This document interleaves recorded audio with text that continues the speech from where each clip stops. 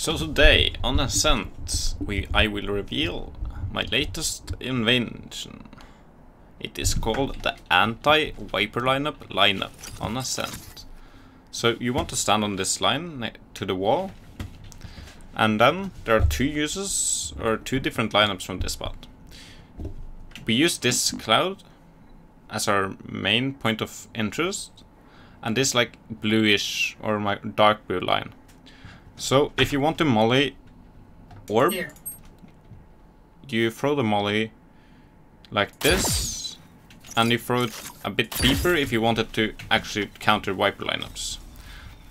So Here. this lands on the orb and this Here. lands on the common Viper lineup spot, where I have shown you what lineups I have used before. And this is the most common spot. And uh, one that lands default is great if you are on a bonus for example. You, and you have a teammate who has a Spectre or a worse weapon than a rifle. You do the lineup. It lands there when just when the enemy team are entering, and then they can swing off. They are vulnerable. They take more, so they take more damage. They are confused. They might run into this. So if you have like a Phoenix who are ready here, well, here's your molly pop.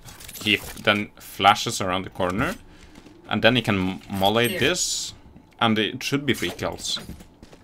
We also, if your team already have retaken site, but they're using lineups, you can come into this corner, and we'll use the same cloud. But now you look just where this little part sticks out, you look just right of that,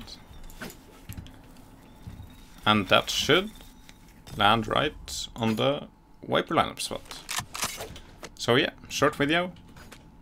Look for more tutorials if you want more lineups.